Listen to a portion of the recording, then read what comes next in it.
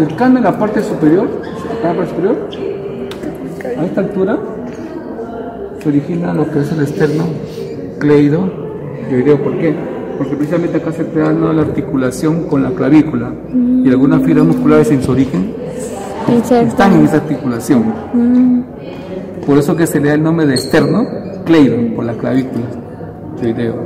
Sin embargo, el que está más abajo ya no tiene relación con la clavícula, por eso se llama externo tiroideo.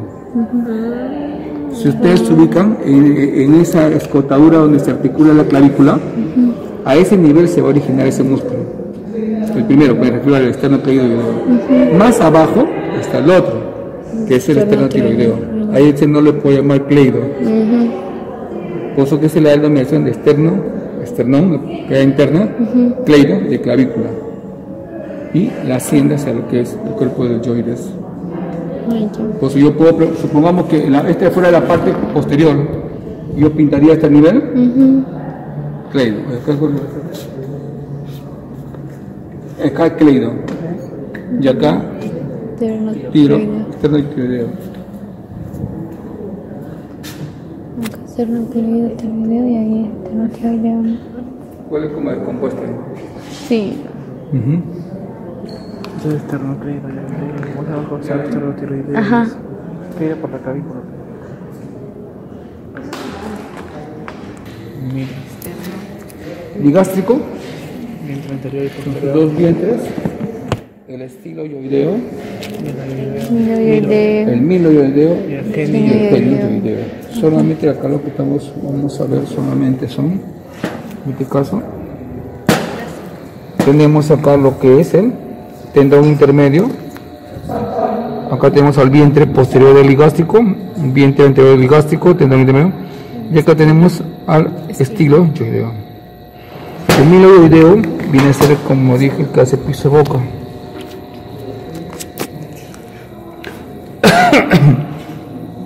Este estilo yoideo, este es parte de lo que es el, queréis ver limpiado acá, es el de lo que es el músculo geni yoideo. Ya está acá. Ya está, Ya mira acá también. Sí. Milo, Para. acá está mira.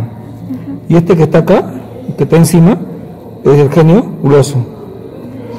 Este es el genio uroso. Y se dan cuenta, miren, acá hay unas puntitas. Esas son las apoyos no genio. ¿Cuál es el miloideo? Otra vez. Que está acá, que se piso. El que hace piso boca es el Milo. Hasta dónde se extiende, puede. El Milo yoideo, digamos, este sería lo que sería el maxilar. Hablamos del maxilar, ¿ya? Internamente hay una línea que se llama la línea. Ahí te las síntesis metallantes. En todo lo, la línea Milo se origina. Sus fibras comienzan acá. Y en la parte central hay un rafe fibroso medio. Todos confluyen ahí. Su parte de esta, de esta, dicen que se inserta acá en este, en este, tendón fibroso. Entonces, en la parte posterior es la que se inserta en el músculo, perdón, en el hueso yoides. De ahí que se llama milo yoideo. Pero en sí sus fibras terminan en la parte media en un fibra, un rafe medio, rafe fibroso. Pues se ve rafe fibroso medio del músculo miloyoideo. Pero su parte posterior de esto se inserta en lo que es el, cuerpo del yoides.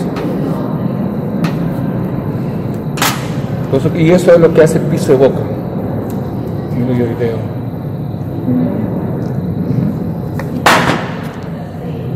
Ya hemos visto los músculos, hemos visto las arterias y las arterias tiende a dividirse en dos ramas, la carótida interna y la carótida externa.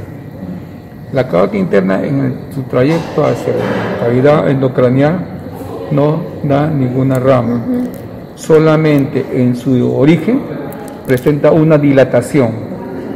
Esa dilatación se llama el seno carotidio. Su función es la regulación del flujo sanguíneo hacia el cerebro. Sin embargo, en la carótida externa sí da varias ramas. Una de ellas que hemos visto acá, que es esta, que es la arteria tiroidea superior. Y la tiroidea inferior se origina en lo que es la arteria subclavia. ¿A través de qué? A través del, del tronco, que ahí sabemos que en el lado derecho del tronco venoso arterioso cefálico, la carótida y la subclavia. Entonces de acá de, este, de esto que es el tronco, tiro y escapular, nace la tiroidea inferior. La tiroidea superior es una rama de la arteria subclavia externa. Otra rama que me da esta arteria ¿Cómo se llama? ¿Cómo se llama?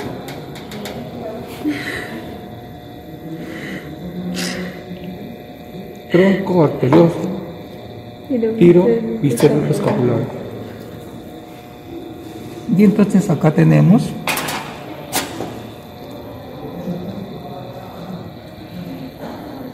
en lo que es la arteria facial.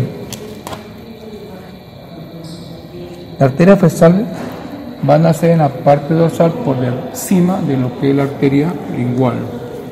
Entonces, si hablamos el orden, en la bifurcación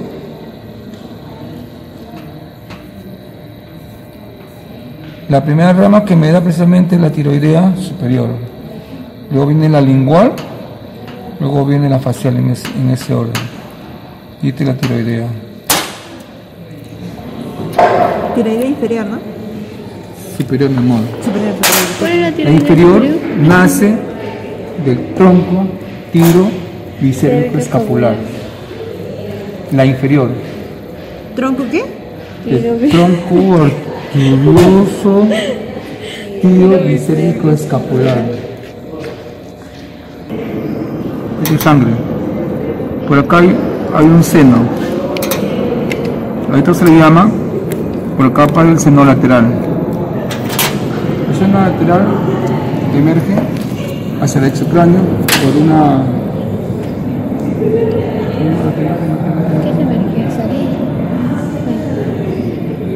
No sé. En lo que es una estructura del hueso occipital, que es la fosita yugular. O sea, supongamos que esto sea la fosita yugular, cuando lo vean en el cráneo. Por acá está lo que es el seno lateral. Y por acá. Y esta vena, o este seno lateral, se dilata. Se hace como un globito. Eso se llama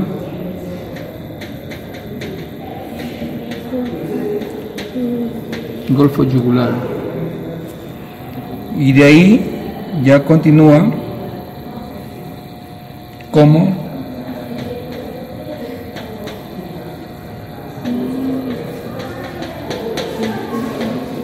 interno,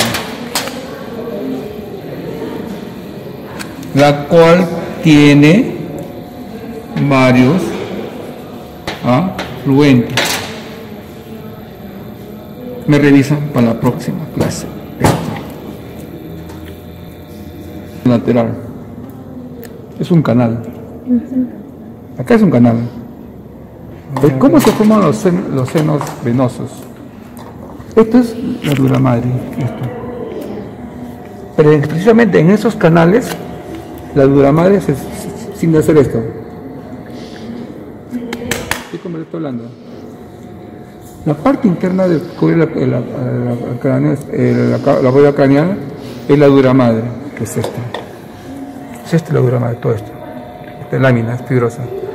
Pero a nivel de estos canales, esa, esa, lámina de la madre que tiene tres fibras, tres este, láminas, hace esto, en esos sucos.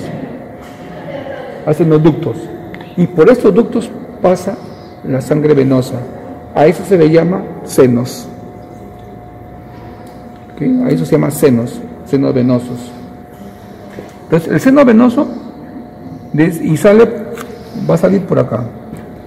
Viene por acá, da la vuelta y a este nivel, miren esta fosa, esta es la fosa yugular, lo que comentaba esto. acá se dilata. O sea, viene acá, el seno, entra acá y se dilata. Se hace una, bol- una bolita, un globito. Y luego ya desciende en forma recta, como están viendo acá. Así. Entonces, ¿dónde se inicia esta vena? En Un golfo yugular.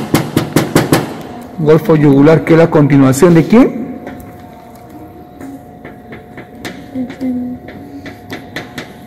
Seno venoso.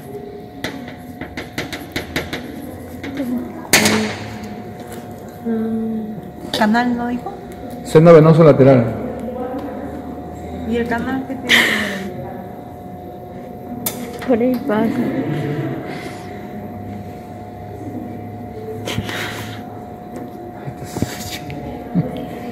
Pregúntale a a explicarte. El seno venoso lateral pasa por el canal del seno lateral. Vuelvo a repetir.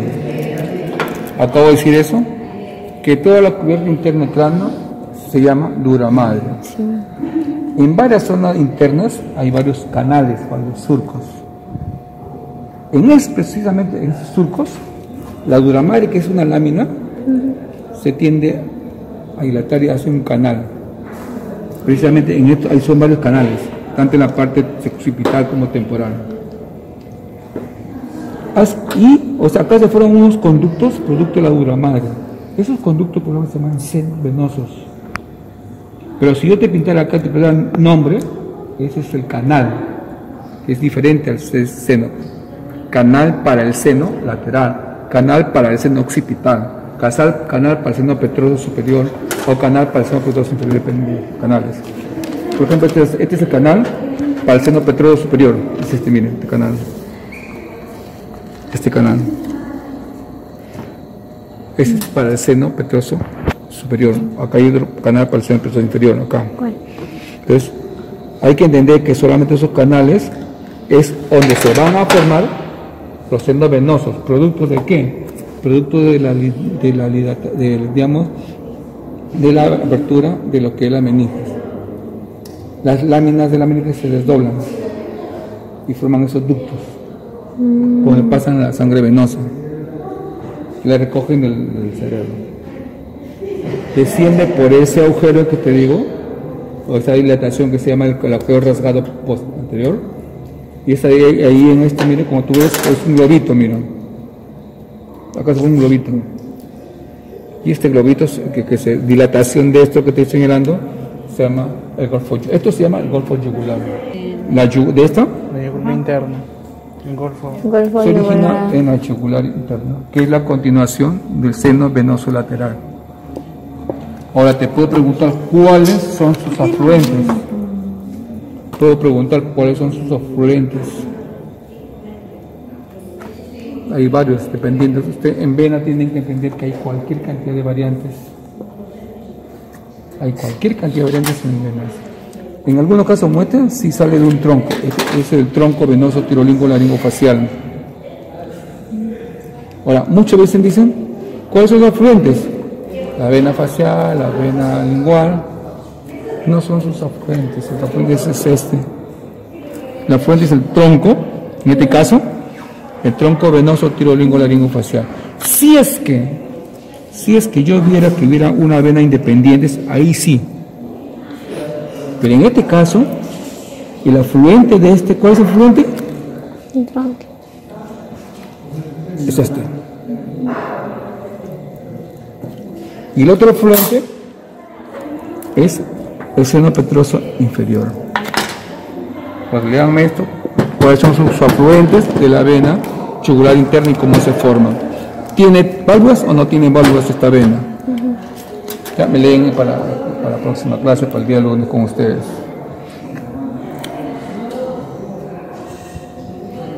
Entonces ya hemos visto lo que es músculos, hemos visto lo que son los nervios hasta lo que estamos viendo, hemos visto lo que es la arteria, hemos visto lo que es plexo cervical. Tienen que entender que del plexo cervical hay tres asas nerviosas. ¿Qué sale de la primera asa, Mabelita? Estoy preguntando a ti, contéstame tú. ¿Cuáles son las ramas nerviosas que te da la segunda asa cervical? Esternocleido. Eh, la, cervical, eh, la rama cervical transversa, eh, la rama auricular. La rama auricular. ¿Tú qué dices? No, ¿qué? Nada. No, yo no- Esa es la de la segunda asa. Segunda la asa. auricular y la transversa. Tenemos la auricular, la occipital la y la transversa, que precisamente la transversa es la que cruza, por ejemplo acá, la transversa está cruzando lo que es el...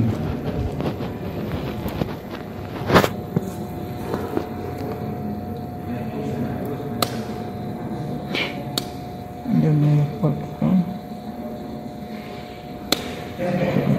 Es parte nada más que queda acá de esto,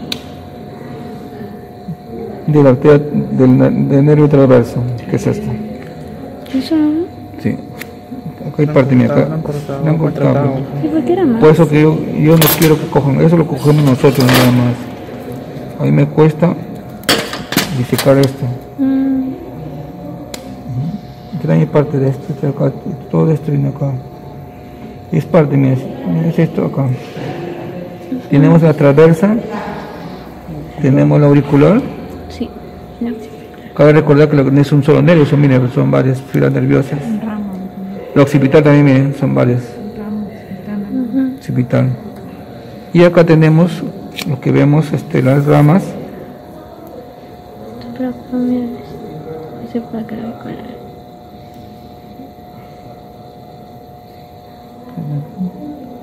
lo que estamos viendo en las ramas, supra clavicular. y supra. Y esto, a raíz del comentario de la cita Álvarez, esto viene a ser el nervio espinal, que me va a inervar tanto a este músculo como a este músculo.